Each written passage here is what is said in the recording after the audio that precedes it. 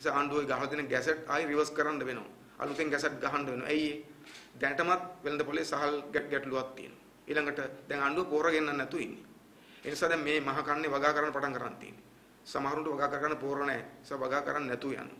සමහර වගාවන්ට ඕන කරන ඊළඟ පොහොර ගහන්න බැරුණොත් ඊට පස්සේ කෘෂි රසායන ගහන්න බැරුණොත් වල්නාශක ගහන්න බැරුණොත් එහෙම අස්වැන්න කඩා වැටෙනවා අස්වැන්න අඩු වෙනවා.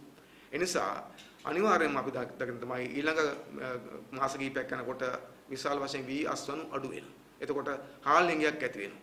වී හිඟයක් ඇති වෙනවා. එතකොට ආයි මිල වැඩි වෙනවා. මොකද ආණ්ඩුව කරන්නේ? ආණ්ඩුවට කරන්න දෙයක් නැහැ. අපි දැක්කේ දවස්වල කයිවරු ගහනවා සමහර ඇමතිවරු එහෙම වුණොත් අපි පිටින් හාල් ගෙනවා කියලා. ආ පිටින් හාල් ගෙන්නේ මොනවද දීලාද? පිටින් හාල් ගෙන්න බෑ. පිටින් හාල් ගෙන්න සල්ලි නැහැ මේගොල්ලන්ට. දැන් මේ තෙල් ටික ගෙන්න බැරුව ඉන්නේ.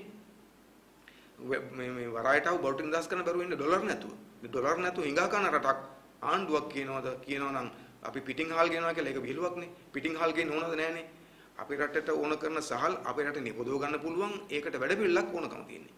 ඒකට කයිමාරු සංදර්ශන වැඩක් නැහැ. දැන් මේ කාබනික පොර කතාවක් යමින් තියෙනවා. කාබනික පොර හදන්නෙත් නැහැ. වසවිස කියනවා කාබනික පොර කියලා. අන්තිමට කාබනික පොරක් නැහැ. ගිනාපු පොරක් නැහැ. මොකක්වත් නැහැ. අපේ රටේ කෘෂිකර්මාන්තය කඩා වැටලා අපේ රටේ ආහාර පිළිබඳ සුරක්ෂිතතාවය විනාශ වෙලා යනවා. ඒක වෙනස් කරන්න මේ විපත දකිද්දි මේක අපි පෙන්වා දෙද්දිත් ඒක වෙනස් කරන්න ආණ්ඩුවට කිසිම ඕනකමක් නැහැ.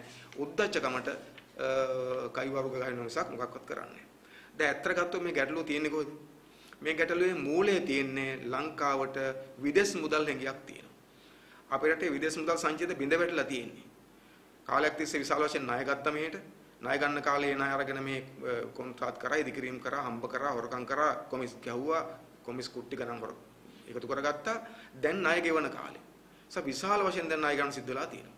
අපි හොඳටම දන්නවා මේ අවුරුද්දේ දැන් මේ මේ මාසෙ ඉඳලා ලබන අවුරුද්දේ අගෝස්තු දක්වා කාලය තුල ලංකාවට ණය ණය පොලි වාරික ගෙවන්නයි වියදම් වලටයි ඩොලර් බිලියන 7ක් විතර යනවා.